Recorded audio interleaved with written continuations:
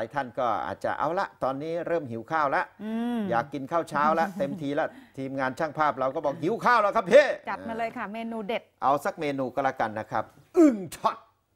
อะจัดไปครับเออเดี๋ยวเดี๋ยวเออเอออึ่งช็อตนี่ ครั้งแรกของนี่เลยครับอื้อหือกัดฟ้าบมันดิ้นต้องการหัวมันก่อนอื้อหือเป็นไงครับเออครับ เอ้ยนี่น้ำจิ้มนี่ถ้าไม่พอนี่เออเนี่ย อื้อหืออันนี้เด็กนะเด็กครับเด็กครับอึ่งช็อตกลมๆมากเลยครับอืมนั่นนะกรอบอื้อปั๊บหือเดี๋ยวเออ นี่ฮะเด็กรุ่นใหม่กินนี่ถือว่าเดี๋ยกินกรอบถือว่าเก่งกรอบๆเลย ผมก็ไม่ทราบนะว่ามันมาฮิตได้ยังไงนะอืมข้าวเหนียวเห็นแต่ฮิตโอ้จริงหมึกช็อตเโยโยไปอ่าเนี่ยคนก็ทำคลิปกันเยอะนะอ้าวดูอีกสักเจ้าหนึ่งอะแสดงว่าเขาอะเป็นเมนูที่ขายในร้านอะถูกไหมคะอ่าไม่ได้ทำกินเอง ก็ไม่รู้ทำกินเองหรือเอาไปขายแล้วก็ไม่รู้แต่ดูรูปลักษณ์น่าจะเป็นคนทำขายแล้วล่ะใช่ค่ะป๊าอันนี้บจิ้มน้ำจิ้มหน่อยอึ่ง กัดอึ่งขาก่อน อึ่งกินอะไรมันครับ เพราะว่าขานี่ก็มีกล้ามนิดเดียวนะฮะกล้ามขาเขานิดเดียวครับเนื้แต่อน้พุองยเบลเลอร์เลยนะอ่าอันนี้น่าจะเป็นอึ่งไข่ด้วยนะท่านผู้ชมฮะท้องป่องๆนะ ตอนนี้บางคนเนี่ยไม่เคยกินอึ่งก็จะไม่รู้ว่าอึ่งมันอร่อยมากบอกตามตรงอนะร่อยกว่ากบด้วยด้วยซ้ำความที่เป็นเด็กบ้านนอกนะครับอึ่งเนี่ยโอ้โหถึงฤดูการกินอึ่งเนี่ยพระเจ้าประคุณ แต่สังเกตนะฮะที่อยู่ในถ้วยเอยอยู่ในแก้วเนี่ยอืมอึ่งสุกนะครับเนี่ย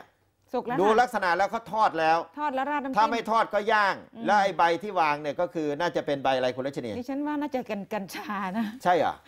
น่าจะใช่ฮะน่าจะใช่หนะรือเอาภาพมาโปะเฉยๆหรือวางใบหรือยังไงผมไม่แน่ใจ เออแต่อาจจะทำภาพให้มันดู หรือหรือกันชงหรือยังไง ดูสวยงามอืม นะครับ เอาเป็นว่าถ้าเป็นอึ่งเนี่ยนะครับ สุกเนี่ยนะฮะกินได้เป็นอาหารปกติแล้วอาหารอร่อยด้วย อืม ไม่ใช่ธรรมดานะครับ เหมือนกินกบกินเขียดครั้ง แรกแต่ว่าอึ่งเนี่ยโอ้โหเราจะนิยมเอามาต้มใส่ใบมะขามอ่อนเนาะอืมมันแสบคักพี่น้องเลยต้มใส่ผักติ้วนะฮะใครจะไปทำอึ่งช็อตกินอะไรกินก็สุดแท้แต่ แต่ว่าคุณหมออธิบดีกรมอนามัยนะครับ คุณหมอสุวรรณชัย วัฒนายิ่งเจริญชัยฮะท่านบอกว่าตอนเนี้ยมันมีกระแสอึ่งช็อตอยู่ในโซเชียลกันเยอะแยะนะครับ เอาอึ่งไปทิ่มหัวใส่น้ำจิ้มอะไรพวกเนี้ยนะ ก็ว่ากันไปนะครับ แต่ว่าสิ่งที่ท่านจะแนะนำก็คือว่า อึ่งเนี่ยมันเป็นสัตว์สี่เท้า สะเทินน้ำสะเทินบก แล้วมีการปนเปื้อนของไข่พยาธิหรือหนอนพยาธิในทางเดินอาหาร เป็นเรื่องธรรมดาของเออเขาเรียกอะไร น้ำจืดนะครับสัตว์น้ำจืดอยู่แล้วนะครับอึ่งก็มีเหมือนปลาน้ำจืดทั่วๆไป เพราะฉะนั้นเนี่ยนะครับกินนะกินได้แต่ต้องกินสุกเลยนะฮะ ไม่ใช่สุกๆดิบๆด้วยนะ สุกสนิทเลยนะคะ แต่พูดก็พูดนะ สุกสุกดิบดิบๆก็ไม่มีใครกล้ากินนะ ถ้าผมสมัยก่อนนะ ก็ไม่มีใครสนิมัยยมสมัยนี้ผมก็เชื่อว่าไม่มีใครกินหรอกอ่าเพราะว่ามันคาว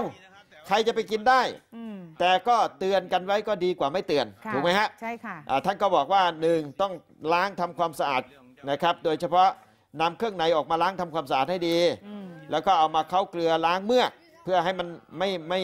ไม่ขาวค่ะอ่าหรือยางนี่ล้างออกให้สะอาดหลายๆรอบหลาย ๆ ครั้งค่ะอ่า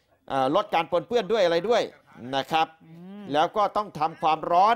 อย่างน้อย 70 องศาเซลเซียสนาน 2 นาทีขึ้นไป จะช่วยลดความเสี่ยงจากโรคหนอนพยาธิแล้วอาหารเป็นพิษได้